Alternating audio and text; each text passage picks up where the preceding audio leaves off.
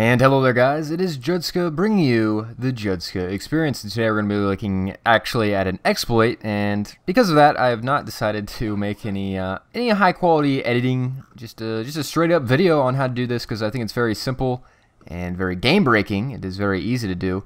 And basically what we're going to be doing is having an unlimited range radio op. You can shoot wherever you want on the map. Um, I will just uh, be going over this as quick as possible because I don't want to waste your time. So you can uh, you can get in the games and uh, do it yourself. Uh, maybe. I, I saw some Russians doing this, and you know you can do it against them, but I would advise not doing this in multiplayer matches because this is pretty much going to ruin the game.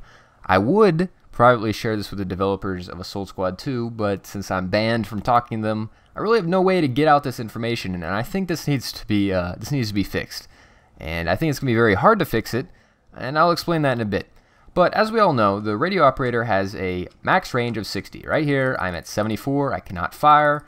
I have rounds in my gun. It is red. I cannot fire. I must walk within 60 range, and then I can fire perfectly fine. And the radio op, as we all know, is very effective against pretty much every unit in the game. Actually, every unit in the game. It will kill it. So with the radio operator glitch, as you see, is very, very destructive over there. All you have to do is aim at your feet. You get in direct control, aim at your feet, and get out of direct control. Very simple. And then we're going to target, um, we'll just target these rangers for now. You're going to move your camera over the target, put your cursor where you want uh, your guy to aim, basically. We're out of direct control through all of this, and then all you do is once you get back into direct control, you fire. And there's all five off. And we had one hit on the wall here, so that didn't uh, that didn't register. Actually, it did. Wow. So we got all five, and let's see what range this was. 138 meters. 138. That's uh, that's pretty insane, considering that's more than double of what the maximum range is. I'm just just trying this on something else. So I'm reload. You know, here's a here's a Hellcat. It's very simple. Basically, anything that's dead, and here's only one. It it all depends on the timing. That should be close enough.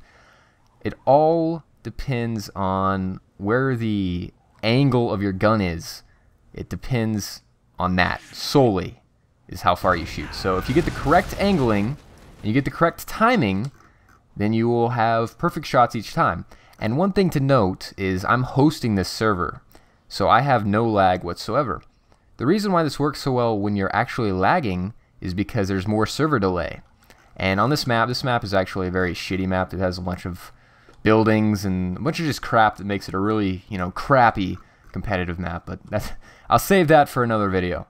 Um, basically, what happens is there's a delay. Like you can try this in single player and it's not going to work. It only works when we're on these shitty Steam servers that have a big delay, which I think is going to cause an issue in fixing this glitch because there's basically going to be no way um, to rework the whole game from that. I hope there's a way. I really do at least this will give you a a way to counter the Russians, um, what they're doing. Because I, I, got inspiration from this. I didn't really see how they're doing it because you know you can't really tell what they're doing when they're firing this off. But through some testing, I figured out how to do it. And the reason it works is basically you aim at the ground. It has this angle here. It's a very shallow angle. It's gonna it's gonna hit really you know not far out. But as I aim like up here, we see that it he changes his direction, or he changes his angle, I should say.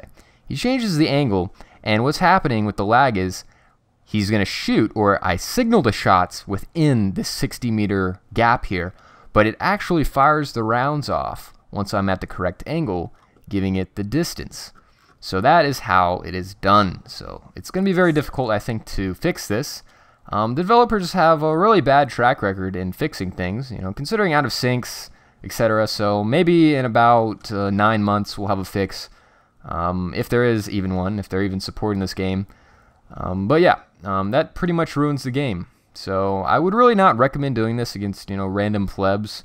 Maybe uh, maybe if you feel like it, but uh, you will be called a hacker. I know I have. I really don't use this that much because um, I think it is very uh, very shitty. And the only reason I did it, wow, that actually I did get the range on it just to show you, I mean, it gets rather inaccurate at long ranges. You can hit things. It does take a few times, but that's a 300 meter shot there. Um, it does get inaccurate. That should actually be more accurate. That was. You see, that's going to get it. So that was a 300 meter shot with the radio operator. That's how you do it. You just aim at the ground, move your camera, and aim at the vehicle while in direct control, and boom. It is dead. So I hope that uh, solves that frustration. I hope they fix it, but they probably won't.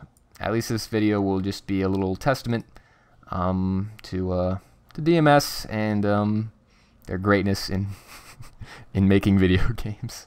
All right, all right, all right, all right. Have a good day, guys. Um, and I will see you next time. Bye bye.